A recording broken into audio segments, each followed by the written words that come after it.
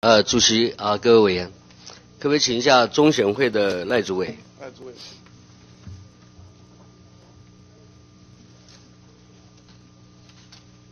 龚委员好，呃，赖主委你好哈。那个刚才黄昭顺委员他讲的没有错啊，因为我前几天跟他到高雄县参加那个高雄县市呃合并呃自治论坛的一个研讨会，刚好那个小组是属于族群组啊。那黄委员他也很关心呃原住民参政权的部分。那因为地方制度法哈、可以说是中央强力主导的一个政策啊，要我们呃修改地方制度法，所以召开临时会。那当时原住民的乡镇哈、几乎是只有三都嘛啊，台北市、台北呃台北县跟台中市而已。我以为说可能会影响到的只有三台北县的乌来乡跟台中县的和平乡，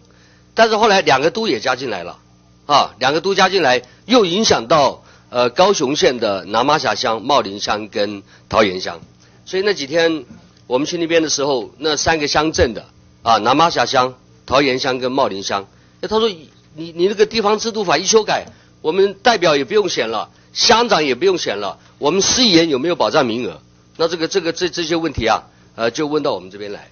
所以我说原住民的参政权哈、也好像是因为地方制度法的修改啊，直辖市的合并，就变成三地乡的乡长啊，已经他的呃，那这这五个乡啊啊，这五个乡、几乎是被剥夺了。所以我一直在立法院，我一直呃建议总统跟呃这个我们行政院长哈、原住民的参政权是宪法保障的，三地乡的乡长是保障三地原住民的。那如如果说三地乡改制为区，变成直辖市的一个区的话，它的区长应该是保障三地原住民，啊，那还好，在这次地方制度法第五十八条已经有把它纳进来，所以我也跟乡乡亲讲，我说现在只是第一阶段，啊，三地乡改制为区的话，我们区长还是有限三地原住民，在地方制度法的第五十八条的修正案有列，那那个，但是他们也觉得有有点不甘情愿了。那五个乡镇本来是属于民选的，等于是类似自自治的一个呃地方自治的一个团体，变成官派，所以大大家代表又又又又怎么样，又又又不能选哈，所以这五个乡镇啊，他他们的参政权呐、还是有受到影响。所以今天我们高雄呃高雄县的还有台中县、台北县的这五个乡镇。啊，那我是想想问一下主委哈、是。直辖市议员，大家有分三言跟平原的，这个是一个进步了哈。我对中央选委会这一次啊，可以说是花了相当大的一个呃心思哈，怎么样研究设计保障原住民的政治参与，这个我是肯定啊，这个我非常肯定啊，就是说你直辖市议员的部分有把原住民的这个议员的席次有把它纳进来啊，那也有分成三言跟平原。而且最起码说有贯彻到一个标准，就是说三个嗯山山地乡啊都保障一个直辖市议员，啊，这个这个部分我是肯定了。那如果说相对于平地的话，县市合并的几乎是少掉三分之一，但是原住民啊大概少一席或或这个可以说还是有相当比例的有保障，这个是这个我肯定。但是那个还是还是还是有一些哈，呃，像那个台中市的。我们原住民的市议员少了一席，啊，直辖市议员呐、少一起，高雄市的啊，高雄县市合并之后，啊，原住民的市议员也是少一起，所以这个部分还有没有办法来来补救？对，我我我想这个名额是呃地方制度法规定的，而且名额多少是不归我们管，我不归你们管，是这个内政部管。嗯，我们是依据内政部所定的名额，然后来划分选区。现在这个席次的分配，地方制度法这个是内政部修，是哦，不是中央中央选委会。是，那这个我我想请问一下，那这个高雄市，好比说你直辖市的市议员，那原住民是少掉一起哈。那高雄市、高雄县市合并，高雄县的三个三地乡，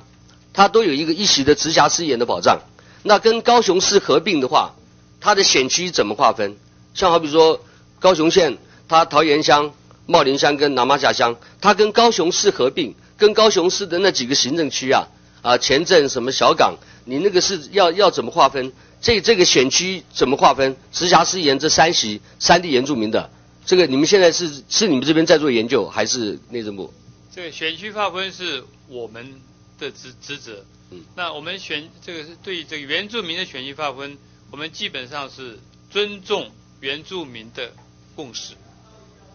那请问一下主委，你们你们这个高雄市直辖市原住民的市议员的选区啊，你们你们到什么时候可以把它弄出来？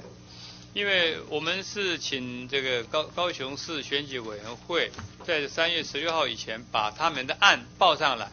啊，报上来以后，我们在审审核以外，我们也可能要开一个公听会，啊，可能包括邀请委员啊大来这个指导，啊，然后最后才做一个比较合乎这个山地原住民的这个共识的这个法。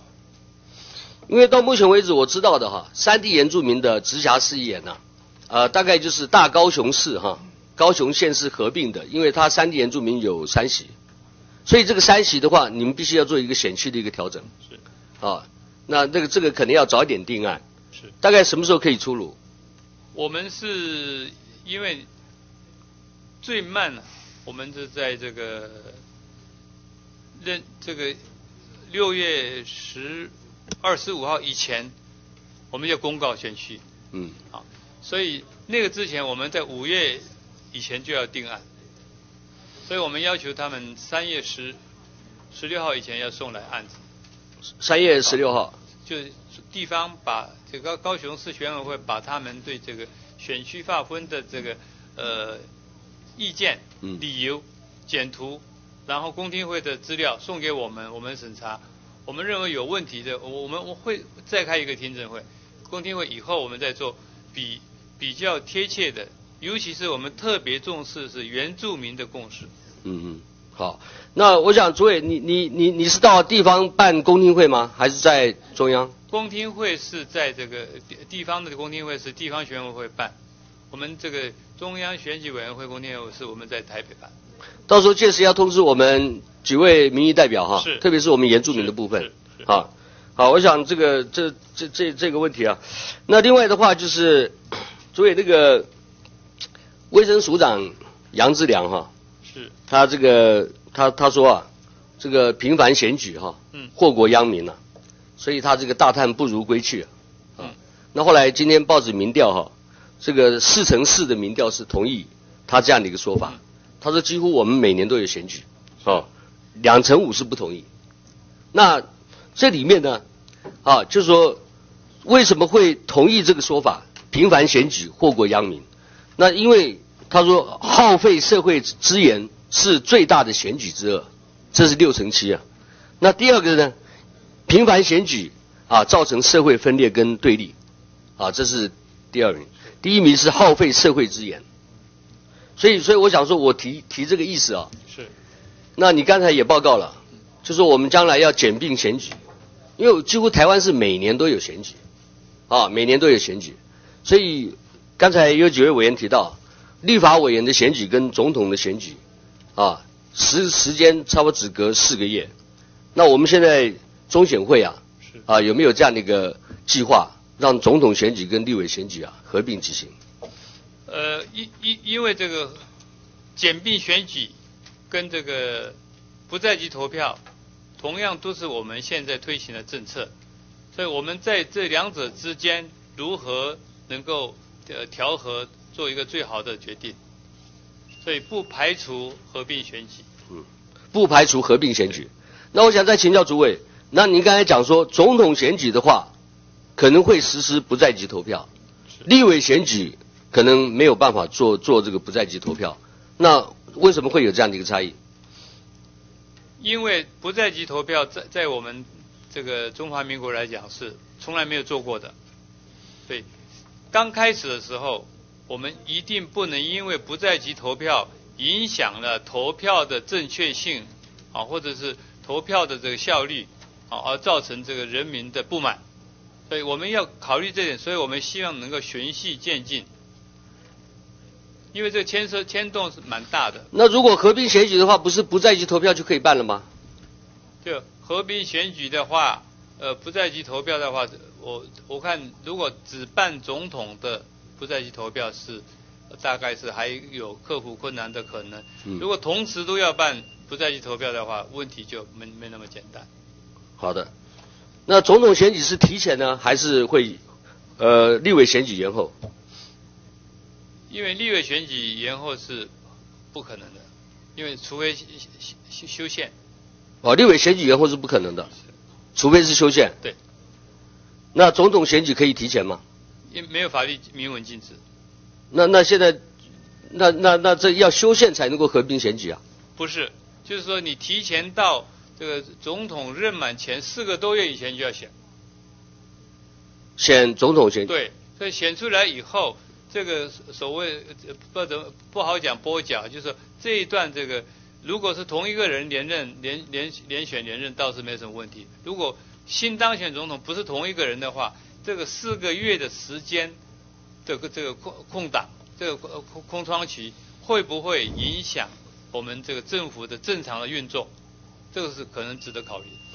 呃，基本上我还是希望，好，这总统大选跟立委选举哈，因为那个杨志良署长讲嘛，频繁选举祸国殃民，啊，我还是希望说能够朝向一个呃合并简并的方式，合并的选举。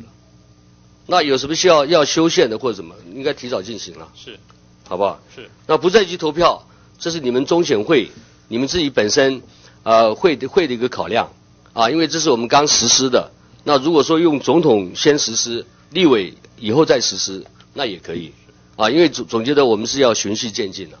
啊，要要确保这个选举的这样的一个呃公平性